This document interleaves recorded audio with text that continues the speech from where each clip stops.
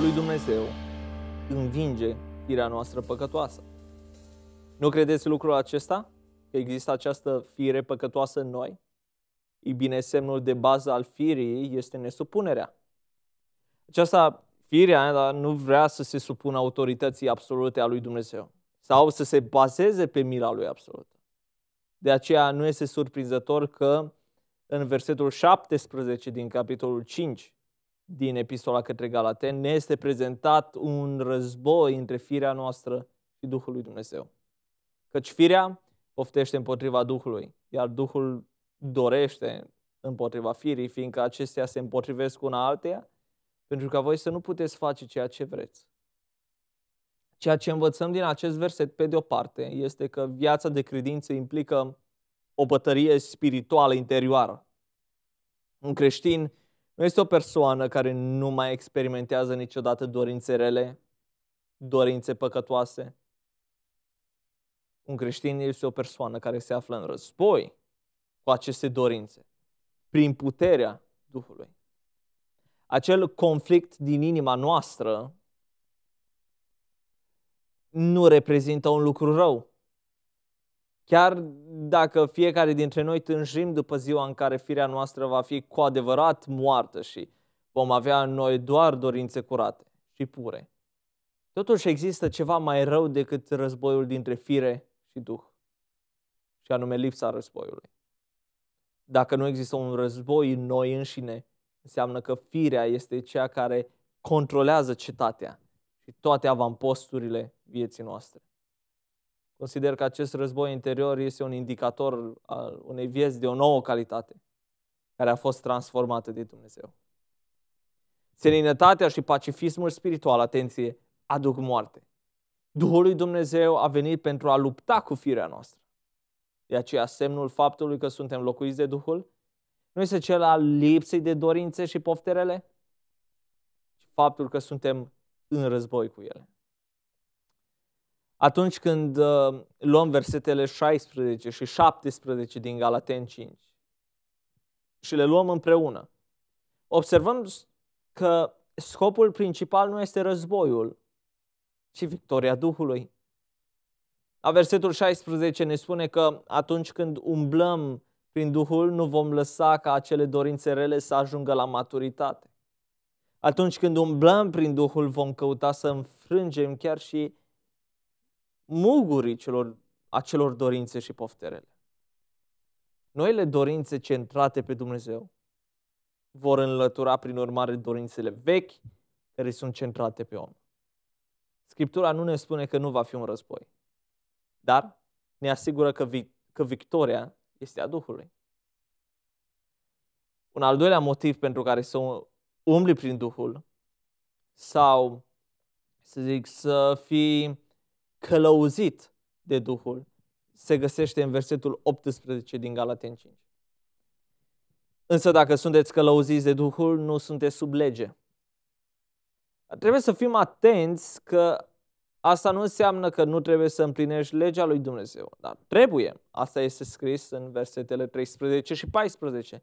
Voi ați fost chemați la libertate, fraților, însă nu faceți din libertate un prilej ca să trăiți pentru fire, ci slujiți-vă unii pe alții prin dragoste.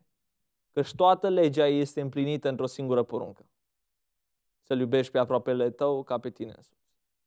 Și de asemenea, în Romani, în capitolul 8, este scris Dumnezeu a osândit păcatul în firea pământească, trimițând din pricina păcatului pe însuși Fiul Său într-o fire asemănătoare cu a păcatului, pentru ca porunca legii să fie împlinită în noi, care trăim nu după îndemnurile firii pământești, ci după îndemnurile Duhului. În urmare, a nu fi sub lege nu înseamnă că nu trebuie să împlinim legea. Când suntem cârmuiți de Duhul, nu ne aflăm sub pedeapsa legii, deoarece ceea ce legea cere produce Duhul și anume dragostea.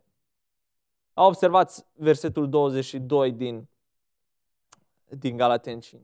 A primul și a tot cuprinzător uh, rod al Duhului este iubirea, despre care versetul spune că împlinește întreaga lege. Și pentru a confirma că așa gândește și Apostolul Pavel, el încheie lista rodului Duhului în versetul 23 spunând că împotriva unor astfel de lucruri nu este lege.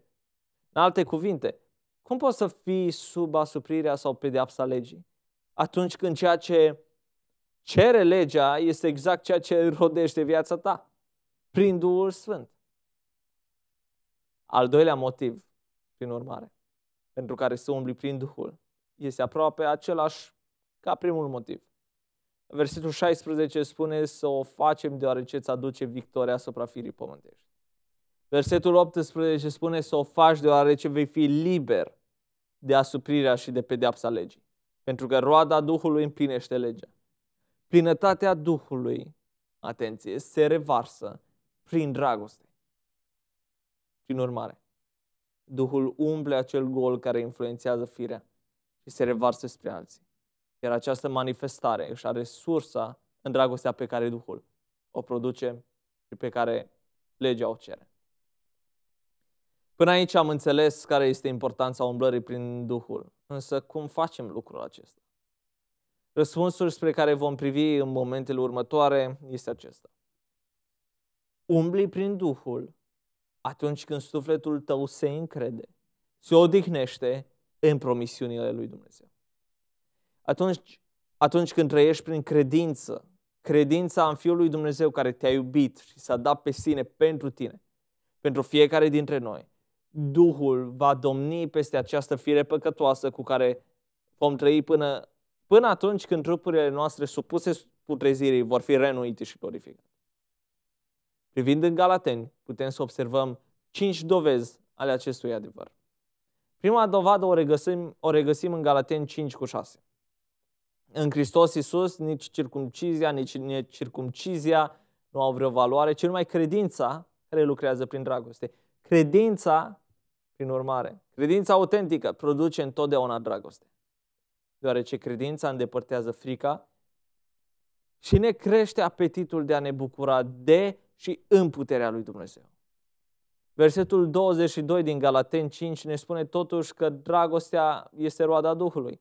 Așadar, dacă dragostea este ceea ce credința produce în mod necesar, iar dragostea este un rod al Duhului, atunci calea de a umbla în Duhul este să ai credință care este o odihnă și o încredințare fermă în promisiunile lui Dumnezeu. A doua dovadă a faptului că umbli prin Duhul atunci când sufletul tău se încrede, se odihnește în promisiunile, promisiunile lui Dumnezeu. O putem observa în Galateni, capitolul 5, cu versetul 5. Căci noi așteptăm cu nerăbdare prin Duhul, prin credință, ce? Speranța dreptății. Cum așteptăm pe Isus prin Duhul? Prin credință. Atunci când îți găsești fericirea și refugiul în Dumnezeu și te odihnești în făgăduințele Lui, de fapt, aștepți prin Duhul și umbli prin Duhul. A treia dovadă o regăsim în Galateni 3, capitolul, capitolul 3, versetul 23, de este scris că înainte de a veni credința, noi eram sub paza legii, închiși până când avea să fie descoperită credința.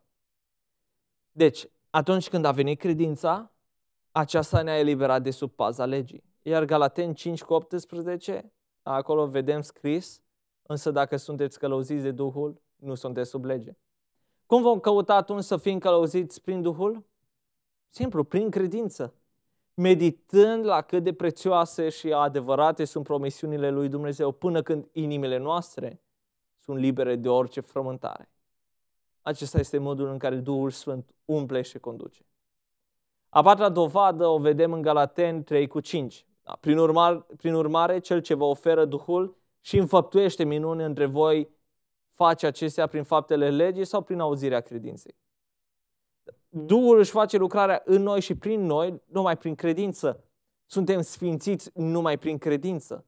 Calea de a umbla prin Duhul și astfel de a nu împlini poftele firii este să auzi promisiunile, promisiunile lui Dumnezeu și să te încrezi în ele, să te bucuri de ele, să-ți găsești liniștea și pacea în ele. Și în final, a cincea dovadă, versetul 20 din Galateni, capitolul 2. Am fost răstignit împreună cu Hristos și nu mai trăiesc eu, ci Hristos trăiește în mine. Iar viața pe care o trăiesc acum în trup, o trăiesc prin credința în Fiul lui Dumnezeu care m-a iubit și s-a dat pe sine însuși pentru mine. Cine este cel care trăiește în Pavel? Duhul, așa cum este scris în Galaten 4 cu 6. Iar pentru că voi sunteți fii, Dumnezeu a trimis Duhul Fiului Său în inimile noastre, Duh care strigă Aba, adică Tată. În fiecare zi Pavel își spune, își pune de fapt credința în Fiul. Da? Zi de zi își aruncă grijile asupra lui Dumnezeu. Își eliberează viața de vinovăție, de frică, de lăcomie. În fiecare zi, prin credință, este purtat de Duhul. Este călăuzit de Duhul. Cum se vede că umblăm prin Duhul? Ei bine, răspunsul este limpede. Nu mai încercăm să umplem golul vieții noastre cu lucrurile lumii, ci cu lucrurile lui Dumnezeu, cu promisiunile lui Dumnezeu, meditând asupra lor zi și noapte și găsindu-ne desfătarea și odihna în ele. Acesta este adevărul, pur și simplu.